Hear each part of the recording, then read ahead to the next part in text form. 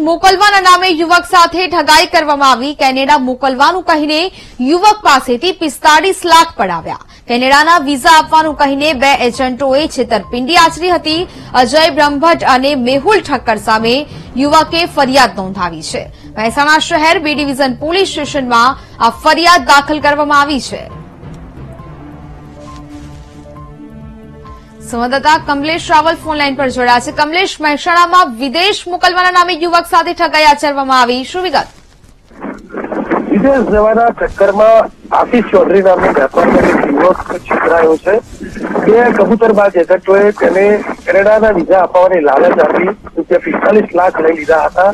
અને પિસ્તાલીસ લાખ સુધી મોટી રકમ લીધા પણ યુવકને વિઝા નહીં મળતા અને બીજા ક્યારે મળશે તેને કોઈ સ્પષ્ટીકરણ નહીં કરતા.